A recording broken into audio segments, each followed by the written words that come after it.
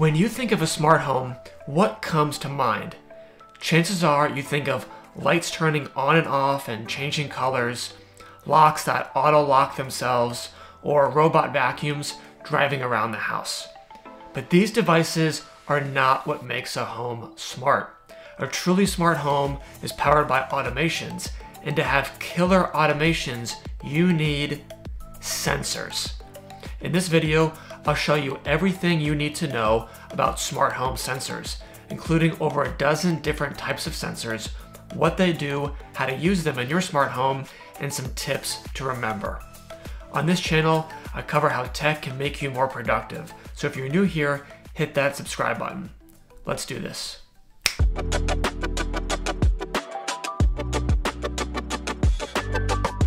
Let's dive right into 13 types of smart home sensors that I use in my smart home, starting with a motion sensor. Motion sensors typically use a technology called passive infrared, or PIR, to detect when someone or something enters a field of view. A standalone motion sensor can normally be identified by sort of a white ball protruding from its surface. Or you may have motion detection included in another smart home device, like in a security camera. I am using motion sensors from Philips Hue, Everything Presence One, and UniFi cameras.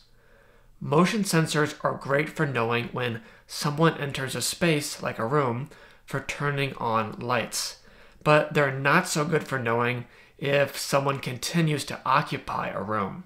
For that, you'll want a presence detection sensor, which uses a technology called millimeter wave. With millimeter wave, you can detect people and objects, whether they are moving or relatively stationary within the detection area. PIR motion sensors can tell you when someone is up and moving, but not if they're sitting down on a couch watching TV or asleep in bed. You need millimeter wave to detect those subtle movements from someone fidgeting in their seat or even breathing. For this reason, a presence detection sensor with millimeter wave is ideal for turning off the lights because it knows with confidence that no one remains in that space. With a motion sensor, chances are you'll have the lights turned off on you when you don't want them to. It was this frustration that led me to millimeter wave and the Everything Presence One. But the application of presence detection goes way beyond automating your lights. You can know when everybody has left the home, even if they don't own a mobile device, and do things like arm your alarm system or adjust the heating or cooling automatically. Now, if you are interested in automating your lights, you'll probably want a brightness sensor, also called illuminance. This detects the level of light in a space, basically how bright or how dark it is. By knowing the light level inside or outside, you can ensure your automation only turns on the lights when you actually need that extra light. Scheduling light automations based on time of day is not as reliable or convenient since it may get darker earlier than expected one day due to cloudy weather, or it may be brighter later in the day during daylight savings time. It is not uncommon to find a brightness sensor combined with another sensor like a temperature sensor. Like the name implies, this sensor tells you the current temperature of the space around it. You could use this in an automation to run the heating or cooling based on a target room in your home. Or you might just like knowing what the temperature is in every room of your house. If your house is anything like mine with a single HVAC system, the temperature may vary by 10 to 20 degrees Fahrenheit from the basement to the upper level of the home. I literally have to dress differently for my day depending on which floor I'm going to spend the most time on. Wearing a robe while I'm in the basement working, and then changing to short sleeves and shorts when going to bed on the top floor. One thing to remember about temperature sensors is they are not all equal. If you put two temperature sensors in the same room from two different brands, they will give you two different temperatures. And chances are, neither one of them will agree with the temperature on your thermostat. Depending on your personality type, this variance may drive you crazy. But if you use Home Assistant for your smart home platform like I do, there are ways to add offsets to dial things in to your liking if these differences keep you up at night. You know who you are. Another sensor that may get combined with brightness and temperature is a humidity sensor. These tell you the percent humidity level in the immediate area. One way to use this is in a bathroom. If you have a smart exhaust fan, you can tell it to turn on and off based on the humidity level from taking a shower. Otherwise, you could open up a window to let the steam out, and for that, you might want a contact sensor. Contact sensors are typically placed on a window or door to communicate if they are in an open or closed state. These sensors usually come in two separate pieces with a magnetic piece on one side and the sensor body on the other. When the magnetic field breaks, it flips a switch in the sensor. I have Ring contact sensors on every exterior door and window in my house, and even some interior doors. When combined with motion sensors, these are perfect for a home alarm system.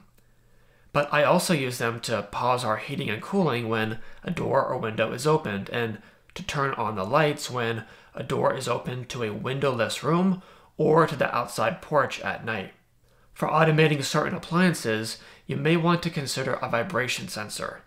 These can detect subtle changes in the movement of a stationary object, like when a laundry room dryer or kitchen dishwasher is running. I use these to send a notification to our phones when the dryer is done based on the start and stop of the machine vibrating. Alternatively, you could consider a moving or tilt sensor, which may be combined with a vibration sensor. These can detect when an object is moving around or when its x and y axis is tilting. You could use it to know the state of your garage door, for example. The Aeotec SmartThings multipurpose sensor combines vibration, moving, tilt, contact, and temperature sensors in one powerful little device. If you want to automate your home based on if an electronic device is currently in use, or if you're just curious about your energy consumption, then you might want an energy sensor. These come in a few varieties, including smart plugs with energy monitoring, CCT clamps on your main electrical panel, or solar inverters, among others. You can use a smart plug with energy monitoring, like the TP-Link Kasa ones that I have, to determine if your TV is on or off for automating lights, or to know if your washing machine is done to alert you, or to turn off power to a phone charger when your device's battery reaches 80%.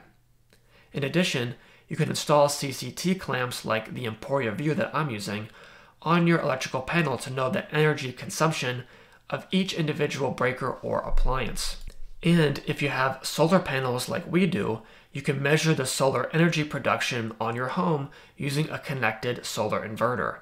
When combined with smart plugs with energy monitoring and CCT clamps, you can track both the energy production and consumption in your home. I probably get too excited about data like this. If you track your energy usage, you may also want to track your water usage with some type of water sensor. Now, this one's a bit of a twist because they come in at least two distinct varieties, and at the time of recording, I am only in possession of one of them. However, I have pre ordered a sensor on Kickstarter that I'm really excited about for tracking water consumption. I'll do a video review once I get my hands on it, so hit that subscribe button so you don't miss out when I drop that video. While I may not be able to track water consumption at the moment, I can track water leaks. For most use cases, this is one of those sensors that you really never want to see activated.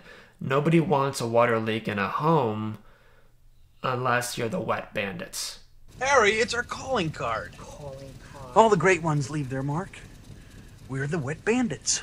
But when water is leaking, you want to know about it immediately so you can take action and possibly prevent costly damage to your home. Fortunately or unfortunately, a water leak sensor has come in handy for me several times. We had water leaking from a pipe that this device picked up, and even worse, our basement started flooding during heavy rains. Each time, the water leak sensor alerted me. Since I'm using a Ring water leak sensor that's integrated with our alarm system, I get a phone call the moment water is detected, which for some reason only happens between 2 a.m. and 4 a.m. Why is that? Related but different is a water heater sensor. You can use this to determine the tank level and water temperature of your home's water heater. This way, you can ensure you always have enough hot water, especially when guests are over and the shower is getting more use than normal. With the Aquanta water heater sensor, I can put the water heater into away mode to save energy when we're traveling or give it a quick boost for an extra shower. If you have allergies or a respiratory illness, live in an area that gets wildfires, or are just concerned about the air quality of your home and how it may be impacted by things like cooking habits, then you may want an air quality sensor. These can measure things like the level of CO2 and VOCs to give you an AQI for the indoor air in your home. I actually had this device but stopped using it because it just wasn't as useful for us. Thankfully, no one in our home has a bad allergy or respiratory condition, and we're generally not exposed to smoke from wildfires. However, for those that are, you could use this sensor to automate turning on a fan for improved air circulation. And finally, you could have a collection of sensors to let you know what's happening with the outdoor air and conditions, such as a personal weather system like Tempest. This may include sensors for temperature, humidity, brightness, rain, wind, lightning, among others. But it's not just about knowing the weather. Your smartphone has a built in app for that already. Rather, it's about opening up new home automation possibilities, like turning on the outdoor lights when it's actually dark outside, regardless of the time of day. Or telling your in ground irrigation system or sprinklers not to run because it recently rained. If you're just starting out with smart home sensors, here are some tips to keep in mind. Remember the power of sensor combinations. This has two parts to it. Number one is that many smart home sensors often come bundled together in a single device. In my smart home, the Everything Presence One sensor includes motion, presence detection, brightness, temperature, and humidity sensors all in one. Likewise, the Philips Hue motion sensor not only detects motion, but also brightness and temperature. Number two is that some sensors just work great together. For example, pairing motion and presence detection to turn on the lights using PIR motion and to turn off the lights using millimeter wave. Or you may use multiple motion sensors in a larger room where any one of them can start an automation. This can help reduce lag in triggering your automations. Think about how multiple sensors can work together to give you the ideal home automation. Separately, remember that not all sensors are powered the same way. They may use batteries, plug into a power outlet, or be hardwired into a power over Ethernet or PoE plus cable. If you're looking for a sensor that has multiple options for power, consider what will work best for your home environment. I am using a combination of all of these in my smart home. While replacing or charging batteries may sound bad, many of the battery powered sensors in my home have been running continuously for over four years without ever needing to change the batteries like all of my door and window sensors.